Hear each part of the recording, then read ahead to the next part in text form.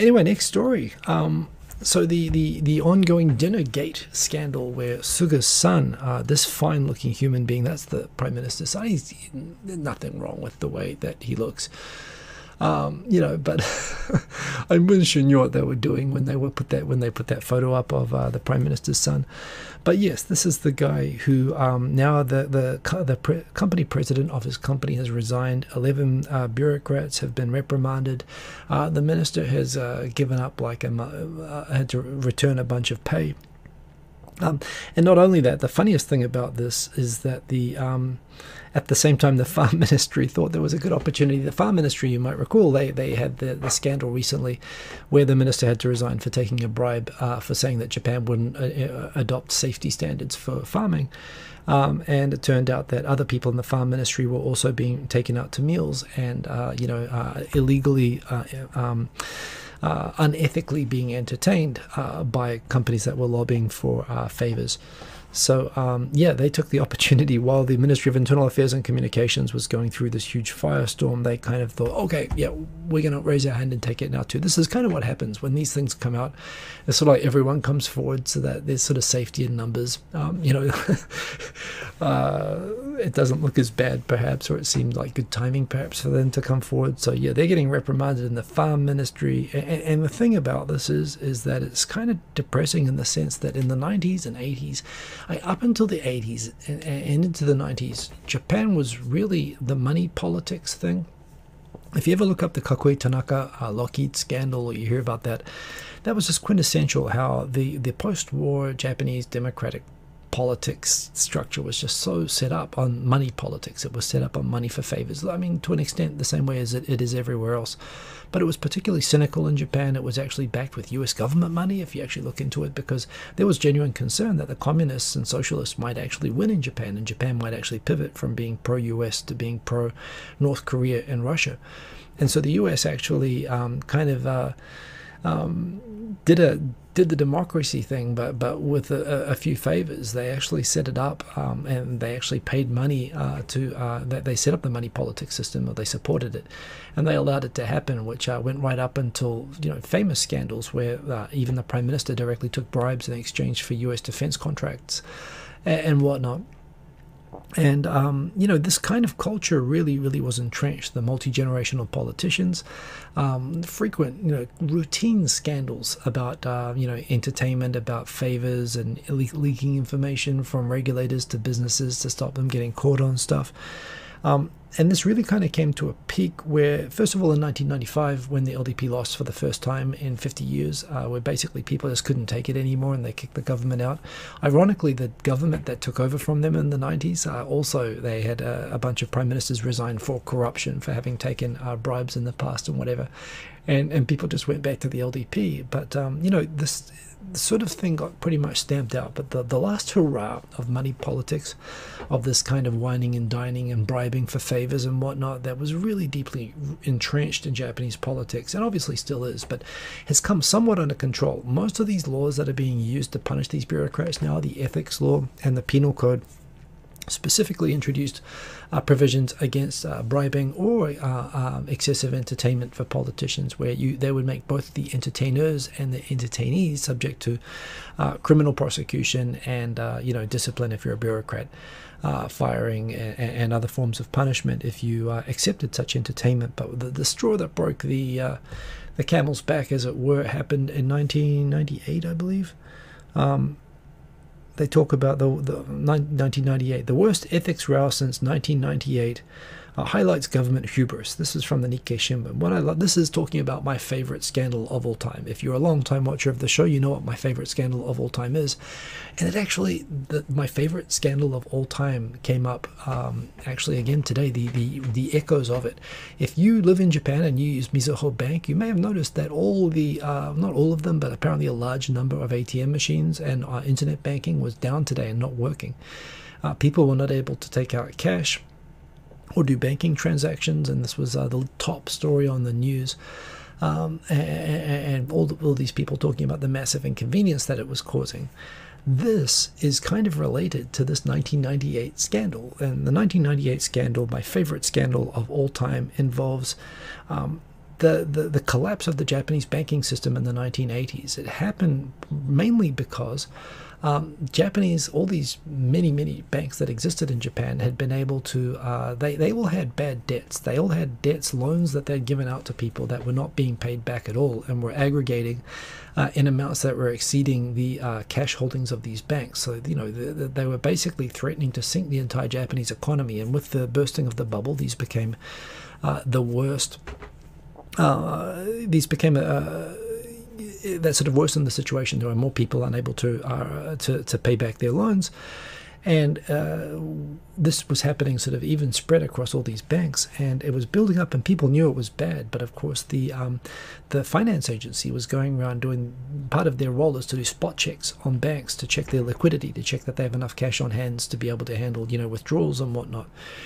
And uh, it turned out that the inspectors for the finance for, that were doing the spot inspections for the banks coming and checking their books and checking that they had enough cash on hand to be able to keep running, um, they uh, let all the banks know that they were open to being persuaded to let banks know in advance when their surprise inspections were going to come in so that they could manage the books uh, in such a way that they could present themselves as looking solvent um, and this basically, uh, because they were effectively, they asked to be bribed uh, by the banks, or they asked for entertainment for the banks for years and years, which continued. And it basically allowed these banks that were already in trouble and would have been called out as being in trouble and could have gotten help and could have recovered if this had been caught early in the 90s, but it went all the way through to 1998 before they got caught. Um, basically because the banks collapsed just because of the, the debts became so enormous they just became this huge wave that just came over and it crushed the entire banking system in Japan caused the entire system to effectively collapse and the government basically forced all of these banks to merge together um, to put to sort of pile assets together and sell all their uh, land holdings and whatnot.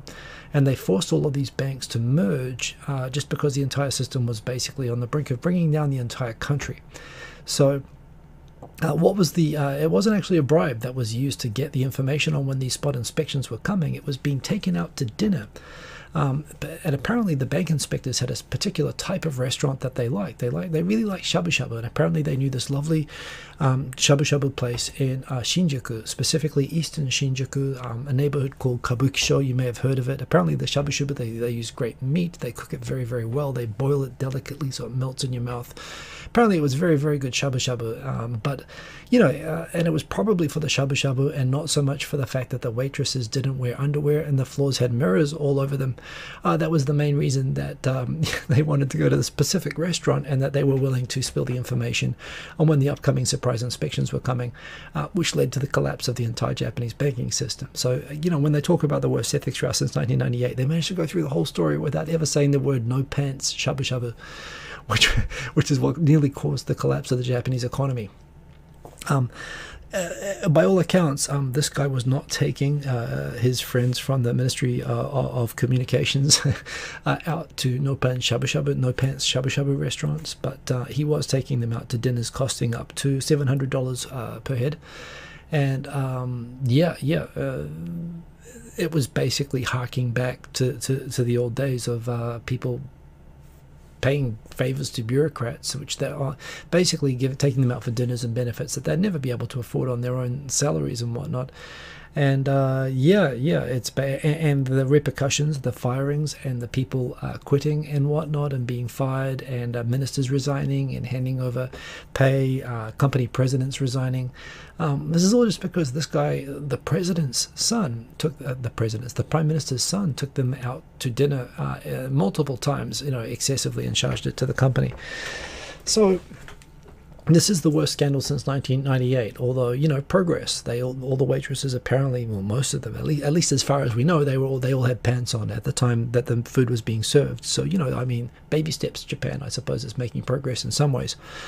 Um, but yes, the other thing, of course, is that Suga, uh, he, of course, uh, wanted to call a pre- he, he, he's not a good he Suga's obviously not a very charismatic person and you know that's fine I thought well okay so he's not charismatic but obviously he's a technocrat he's worked worked his way up through the LDP to become prime minister so he must be smart he must be good at you know something uh, it turns out he's definitely not good at press conferences. He he called a press conference. Um, it, it, came on at 7 p.m. when the NHK News comes on on like Thursday, I think it was, to announce the lifting of the state of emergency in six prefectures And um, he called this press conference himself, and it was sort of standing in the lobby of the um, uh, uh, of the PM's residence.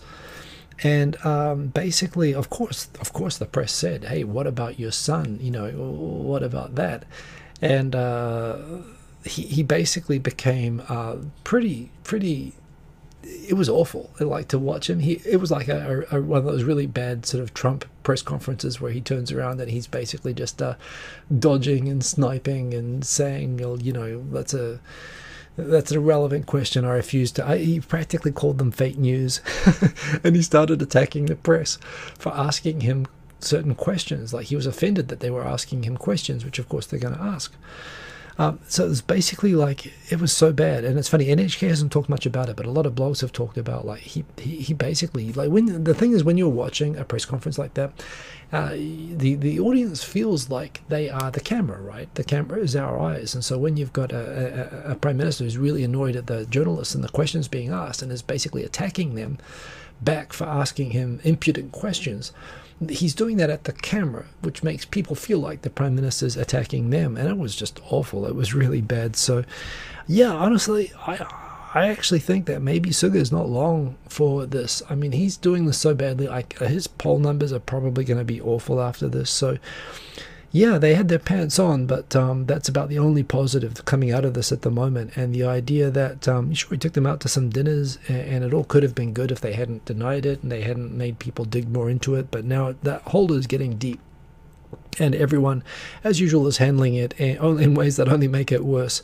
And seriously, I, I, I think this could actually, well, if not be the sole factor that brings down Suga, uh, it could lead to his popularity going so low that there could be a, I think there could be a challenge uh, that maybe some people are thinking that they want to be prime minister are going to start uh, preparing for that. So yeah, it's been an interesting week with the, uh, we'll call it Dinnergate. Um, no information on pants related to this at the moment. So. Um, yeah, yeah, we'll we'll see what happens with that. But oh yeah, yeah, I didn't actually explain before. Um, postscript the way that the banking thing collapsing right now is that uh, Mizuho was not a happy merger. The point is that Mizuho was the result, as all the big banks, uh, you know, Mitsubishi UFJ, Sumitomo, Mitsui, um, and Mizuho. These were unhappy. These were basically shotgun weddings of all of these banks. These were formed uh, while these banks absolutely hated and resented each other. And, and, and the amount of internal feuding in Mizuho is legendary, particularly among the system departments and it's their complete uh, sabotaging of the legacy com- bank company IT department, still being unable to agree, still fighting with each other, that continues to cause these system issues. That means that even like uh, something like nearly 20 years after Mizuho was like created in the sort of shotgun wedding by the government, um, they still have not been able to get a unified banking system, single banking system for that bank together, just because the internal teams are still uh, refusing to cooperate. It's just uh, crazy. That in itself should be a movie. I've mentioned that before as well. But yeah,